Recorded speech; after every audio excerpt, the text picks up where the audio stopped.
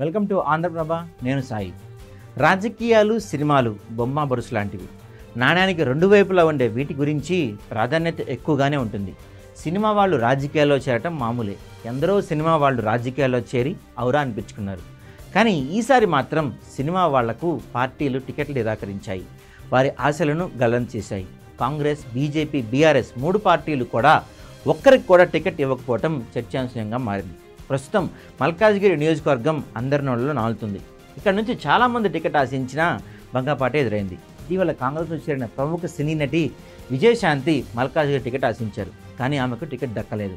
పట్నం మహేందర్ రెడ్డి భార్య సునీతకు ఆ అవకాశం దక్కింది. దీంతో మల్కాజ్గిరి విషయంలో పార్టీలకు ముందు చూపు అధికంగా ఉన్నట్టు తెలుస్తుంది దీంతోపాటు ప్రముఖ నిర్మాత బండ్ల గణేష్ కూడా కాంగ్రెస్ నుంచి మల్కాజ్గిరి టికెట్ కావాలని కోరినా అతడికి కూడా ఆ భాగ్యం దక్కలేదు.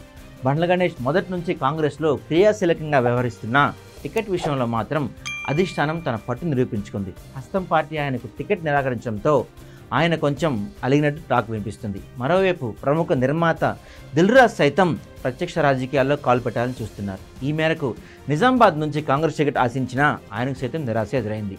దిల్రాజు మొదట కాంగ్రెస్ నుంచి పోటీ చేస్తారని అనుకున్నా తర్వాత బీజేపీ బీఆర్ఎస్ పార్టీల్లో ఏదో ఒకటి టికెట్ వస్తుందని అనుకున్నా అది కూడా నెరవేరలేదు.